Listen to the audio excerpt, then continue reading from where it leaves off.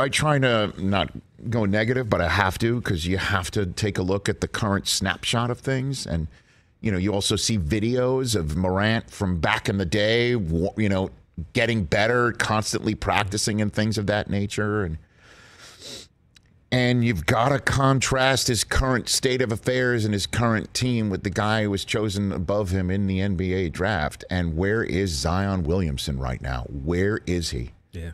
Unable to play, or the rumors might have it, Unwilling? unwilling, unwilling to work your way back in, unhappy with where you are.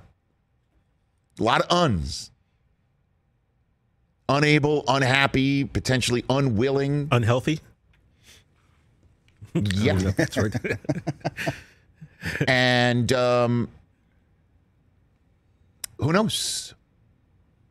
Who knows? He's going to go this entire year, it seems, without appearing on a basketball court as Morant takes his shocking, don't forget, shocking, surprising, eyebrow raising, interesting State Farm Play In Tournament uh, victory from last year and taking it another step further while Zion is in New Orleans as a big shrug emoji. Where are you? When you coming back? What do you like? What are you thinking? Where are you going to go? Do you want to be here? What is your future? What's the deal? One thing after another with Zion. And you see Morant and I know I know this is going to be hot, if you will, what I'm okay. about to say. Coming in hot.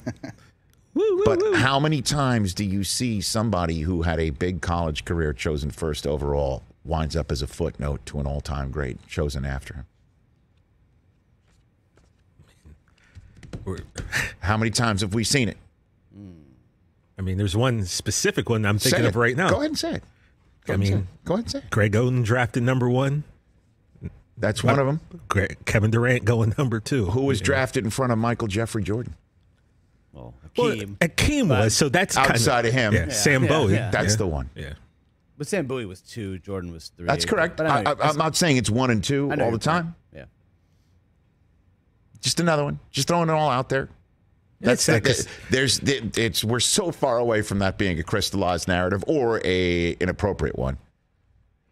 Zion's still But- 21. I'm I know. Him, I'm going to give him. I, Some I, I, yeah. That's why I prefaced it by saying hot. This is going to be hot. yeah. But it's But also right now, snapshot in time. Oh my gosh. Three Not seasons in. Yeah, it's not even close. Three seasons in. One guy's electric. Can't stop talking about him. Can't wait to see him again. Can't wait to see what's happening in the future. Whole entire city's in love with him. He could already be elected mayor there. Oh, doesn't pay for a meal. And the other guy is, we don't know where he is. We don't know where he's coming back. Is he having too many meals? What's going on?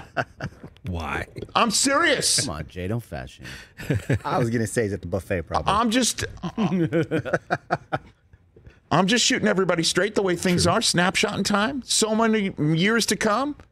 And maybe our third hour guest, Ben Stiller, can't wait to get Zion in Madison Square oh, Garden. Oh, you know that's factual. Yeah. So Rich, and- hey, Another thing with Zion, and by the way, I'm a believer in Zion, but you look at the Zion and Ja comparison. You have the one guy in Zion who was probably the most famous high school athlete because Of of. YouTube since LeBron. Yes. You have Ja who got one scholar D1 scholarship offer. Murray State. That was it. So you had the guy who had everything and the guy who had to like claw to get that one. And Like a guy who went to Davidson, maybe? oh yeah, very similar to See what. I'm saying? Yeah. Narratives? Narratives? Hey, a little different. Famous NBA father. Uh, Yeah, that, I mean, no, I true, No, but you know, but because of the famous NBA father, you would have thought that he would have gotten. Guy went to Davidson, offers. then became all time great electric. People love him. Can't get enough of him. mean, the does other- that sound like? Does this sound like the kid that we're Yeah, talking it about? sounds like we're on a similar path. I know.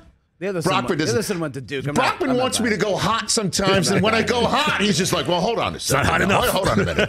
Wait a minute, Rich. I mean, you know, I don't, I don't know. You're really stepping out there." But every single time, step out there. Come on, step out there, Rich. I'm stepping out. I don't know. Did you just break into a Bornstein impression? No, I didn't. I just think Ja to Steph is a little stretch. That's all. Well, it just in, I see Are, what are he's we saying. are we heading there? Are we heading there? Like, are we seeing? Are we seeing something? Are we heading there? What do you think? Is he heading there in terms of taking over the league? Everybody kind of overlooks him. He's playing in a spot nobody really Two thinks can six do three it. shooting guards. Small D1 schools. Just throwing it out there. Okay.